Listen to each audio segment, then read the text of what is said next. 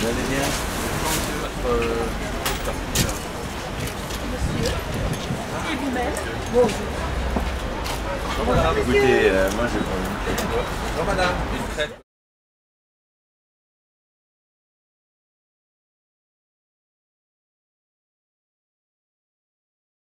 Le marché, euh, c'est important parce que c'est à la fois l'activité économique de Paris et aussi la convivialité des villages. Alors là, on est dans un marché qui est le marché de Passy, où euh, tous les commerçants sont des commerçants en- souvent très anciens, dont la clientèle est très fidèle et qui ont plaisir à se retrouver pour bavarder en faisant leur cours. Moi, je suis dans le quartier depuis euh, maintenant euh, une vingtaine d'années, on va dire.